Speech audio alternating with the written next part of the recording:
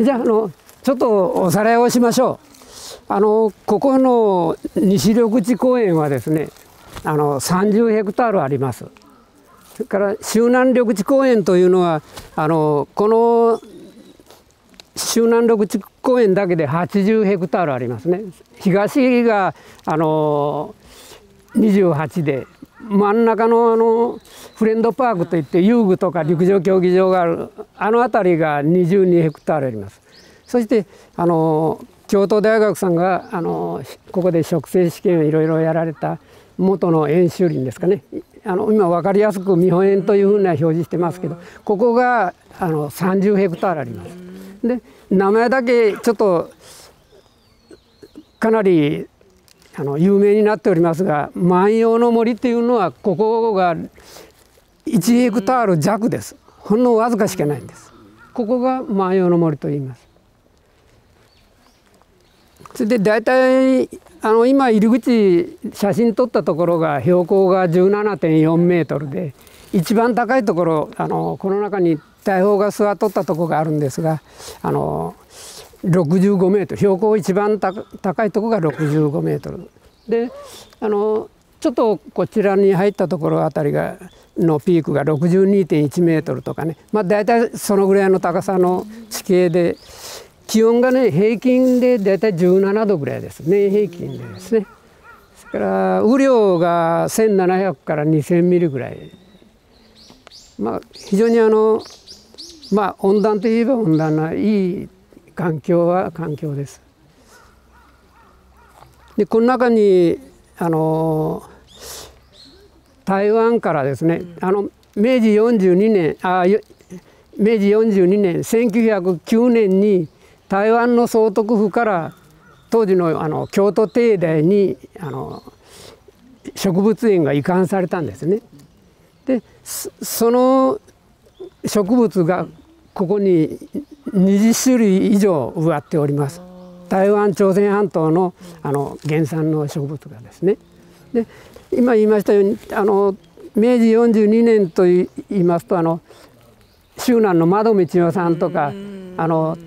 田中大女優の田中絹代さんが生まれられた年です。その年に総督府から京都帝大にあの台湾の演習林が移管されてそれからこちらにはですねあのここの今申しましたあの東の周南緑地の東の今キリンビバリー体育館があるあの辺りのところの笹場が丘にあの車房用の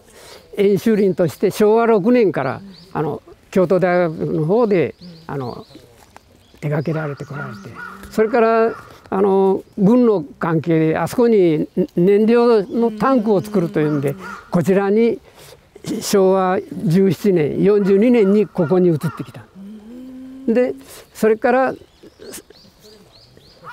昭和39年の3月31日までここでやられてそれから40年度から午前中皆さんが行かれたあの八久保に現在のあの京都大学の徳山試験地があります。そういう流れで来てます。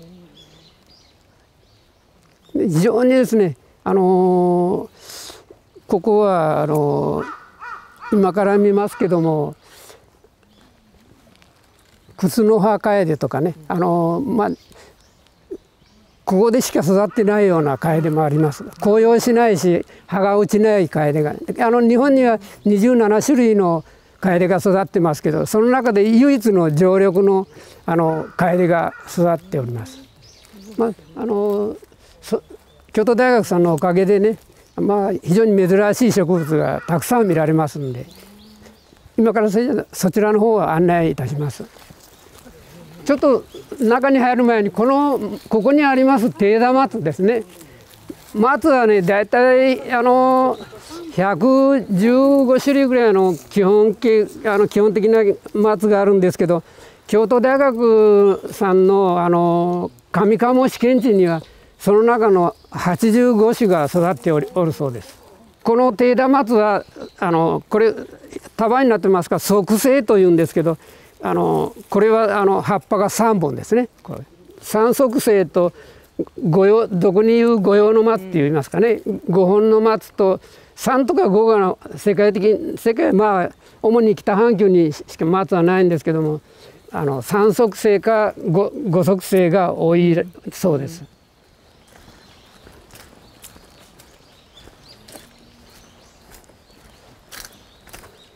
ここはあの宇津木がありますけどね。宇津木ももうあのいろんな箱根宇津木とか毒宇津木とか紅宇津木とかサラサ宇津木とかね種類がものすごくあるんですけどね。午前中いろいろお世話になりました。あの大野さんがあの日和田のことをやられましたけどあの日和田は竹釘で今全部打っていくんですけど木で日和田をあの止められる釘にするのは宇津木だけです。非常にあの硬い木なんですね。それとこちらにあるのがこれがあの尻深菓子ご存知ですかね？尻深菓子どんぐりのお尻がペコンとへこんじょるから尻深菓子っていう。あの他のブナ科のどんぐりをつける木ので大体もうあの4月5月頃あの花をつけるんですがこれは秋のお彼岸に花をつけます。で来年の秋あの実に実,、はい、実になります。だから1年以上かかりますよね。えっとこちらにあのコアラでおなじみのユーカリがあります。今ちょうどあの実が落ちてますから見てください。この辺り白いのが落ちとったらユーカリの実です。から今あの花屋さんなんかはあのこう葉っぱが突き抜きになってるのが人気ですよね。あここに今小さい若いのは突き抜きになっちゃうでしょ。そしてこの足元に落ちてるの古くなるとこういう葉っぱになります。ブーメランではないけどこういうはい。こういうなって。あのこれカツラですね。カツラの木。非常にあのもう完全なハート型で綺麗な葉っぱをしてますし花はねあの雌雄別です。オスの木とメスの木が完全にあの違いますからね。ここへあの復帰草があります。あの蝶之助草とか復帰草はこういう20センチぐらいしかならないですけどこれも一応木本ですから木ですから。草という名前が付いてますけどこれは復帰草とか蝶之助草とかまああの藪工事あたりもほんの小さいですけどみんな木の仲間ですからね。ここではねここにあの白木というのがあります。白木。あの先っちょに少し実がついてるんですけどね。お茶の実と同じようにこう蜜になった実がつきます。あの古代樹と言われるこの林木ですね。あの残念ながら2年前に枯れてしまったんですけど台湾からあの来た高砂犬桜っていうのがあったんですよ。あのここの公園の中にね、うん、京都大学さんがあちこちに植えられて残っとったのは徳山ここだけというふうに聞いとったんですがそれが枯れてしまいましてでこの林木がですねあの高砂犬桜と全く同じなんですよ。葉っぱ幹が同じで花の時期が高砂犬桜はもう春咲くけどこれは秋秋なんです。で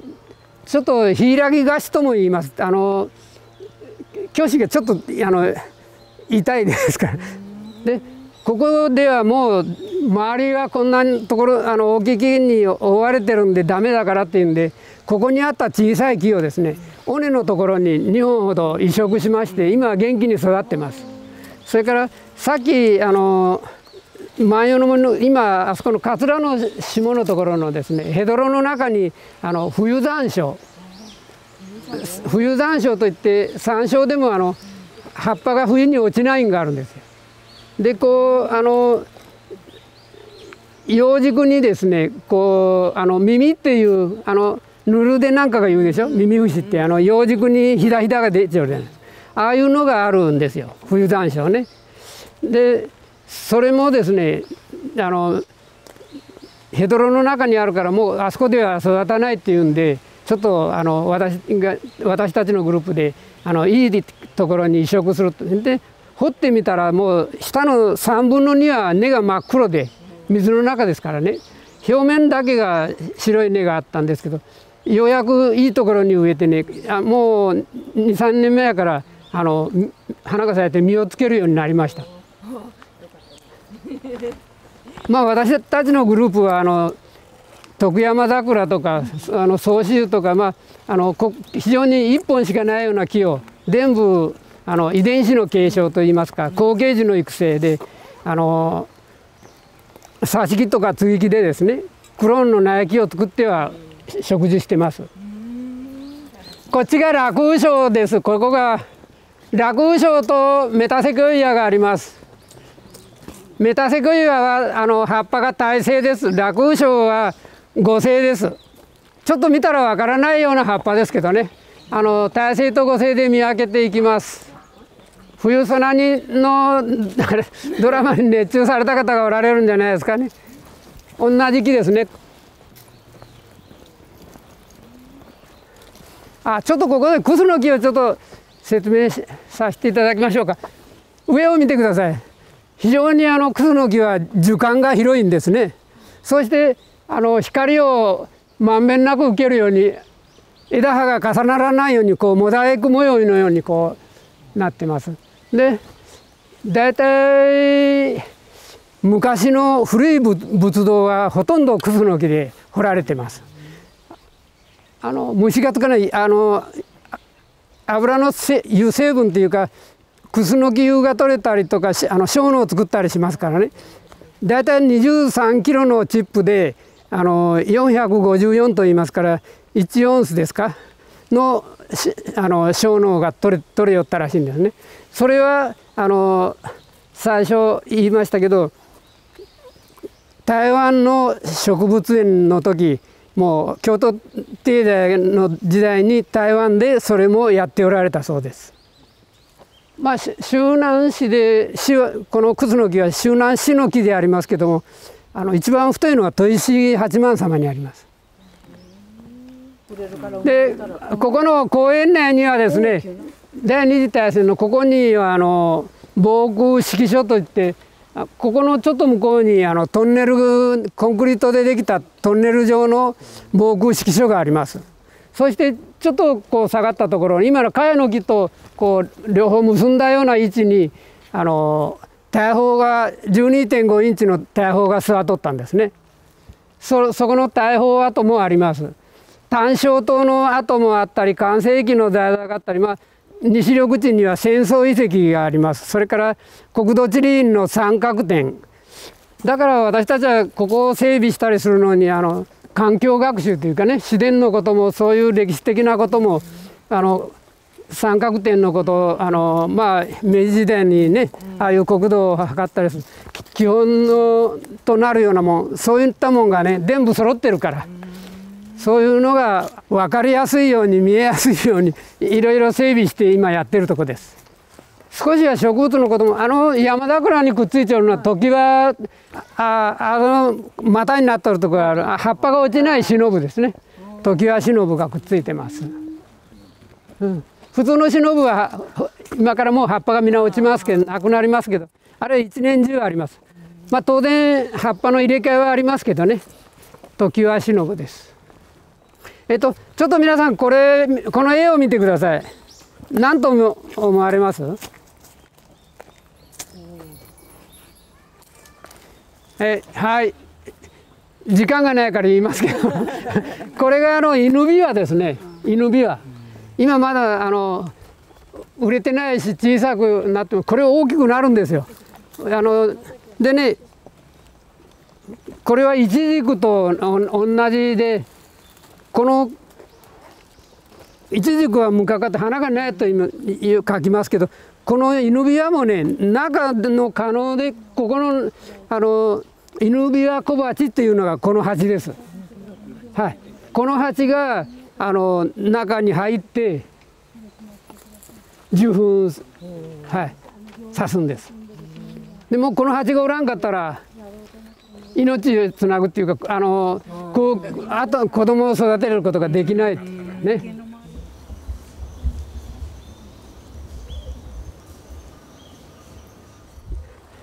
羽のところに黒い斑点が見えますですか？あの斑点はねあの性氷と言います。性氷。あれがオスです。あの門のないのがメスです。うん、であの交尾する時はオスの方はヘアペンシルって言ってあのフェロモンを出す器官があります。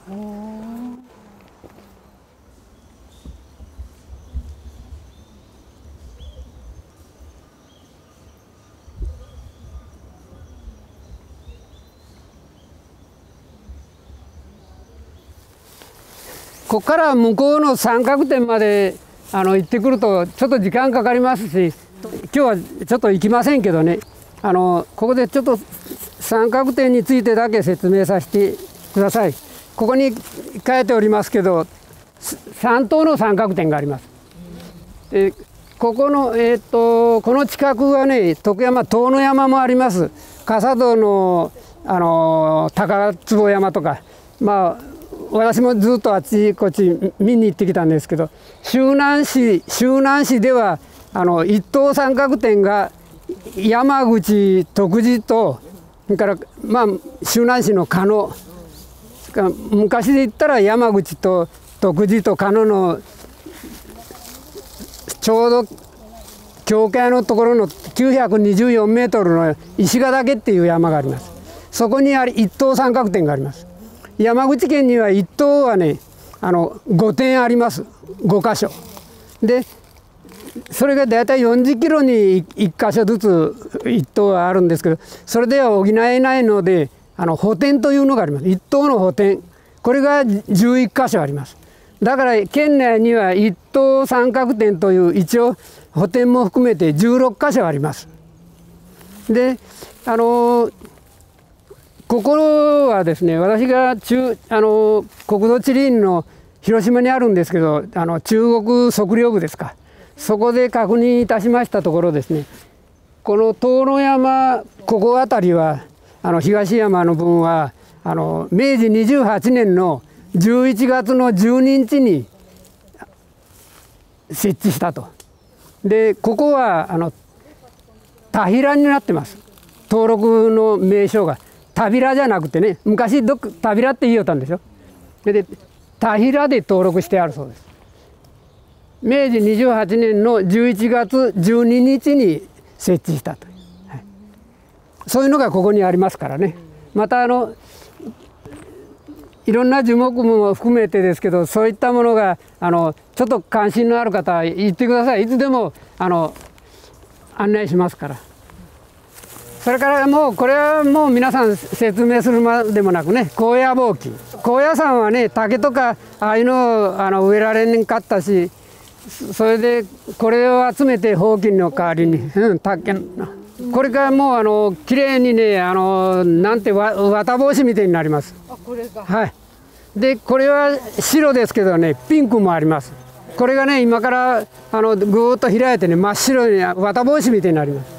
これがあの例の亜州杉ですよ。これでやらこれは北山杉でね、い。ろんな杉がここは植えてあります、これからねあのあちこちのあの庭木とか公園とかに植えてある北山杉ができたんです。あれの元はこの亜州杉からですからね。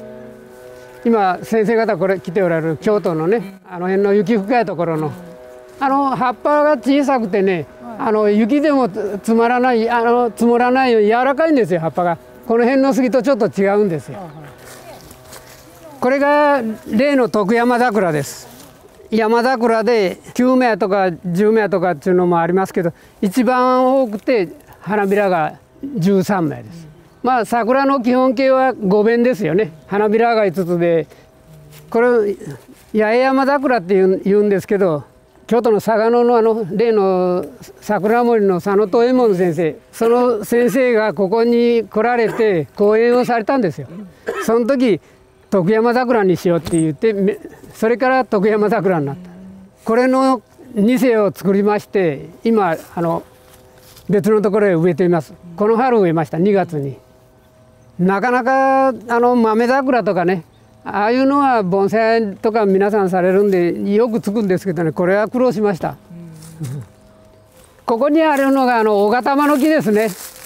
秋の彼岸のあのまんじゅしゃげっていうか彼岸花が秋の彼岸にちょうど合わせたように咲きますけどこれは春の彼岸に咲きます。冬目がね日が当たる方の細胞の方が急激にこう大きくなってきますからね。あのコンパスツリーとも言われてます。あの山で道に迷った時なんかはタムシバとかコブシとかこう木蓮科の木があったら大体方角がつくらしいんですけどね。この下にあの姫シャラの親木があります。でここはあの海が南側にありますからね海風が吹いてあのこの親木の種を上に吹き上げるんですよ。だから上にこの子供がたくさんこれはあの植えたんじゃないですよ。全部自然に生えてこう並んだように。ヤブ紫と紫式部ね。見分け方この葉っぱの裏がビロードみたいに柔らかくこれがヤブ紫。そしてねあの実がね下につくんですよ葉っぱの。で紫式部は上につくんですよ。